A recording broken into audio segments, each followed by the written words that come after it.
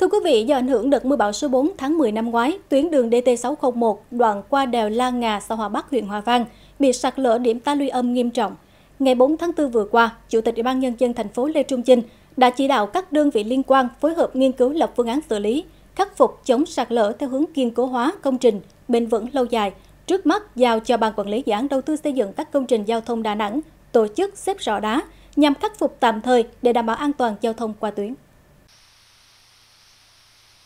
Đây là khu vực bị sạt lở phía ta luy âm tại đèo La Ngà thuộc tuyến đường DT601. Điểm sạt lở này dài 315 m, đoạn từ km 14 485 đến km 14 800 nằm sát sông Cù Đề, trong lòng hồ đập dân Nam Mỹ. Đất đá ngổn ngang, mặt đường bị thu hẹp, nhiều vực thảm sâu trên chục mét, tiềm ẩn nguy cơ tai nạn đối với người và phương tiện khi lưu thông trên tuyến. Để đảm bảo an toàn giao thông qua khu vực này, Sở Giao thông Vận tải thành phố đã phối hợp với Ban Quản lý dự án đầu tư xây dựng các công trình giao thông, tổ chức lắp hàng rào chắn, đặt biển cảnh báo, khẩn trương khắc phục sự cố sạt lở.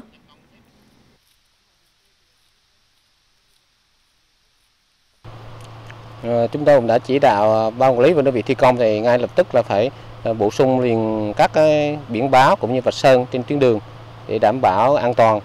Ờ, về mặt ờ, ban đêm thì sẽ phải bổ sung thêm các cái hệ thống đèn báo hiệu và đặc biệt nhất như tôi nói hồi nãy thì cần phải có cái lực lượng ờ, bố trí người để điều tiết ở hai đầu tuyến đường đảm bảo mỗi phương tiện đi qua một chiều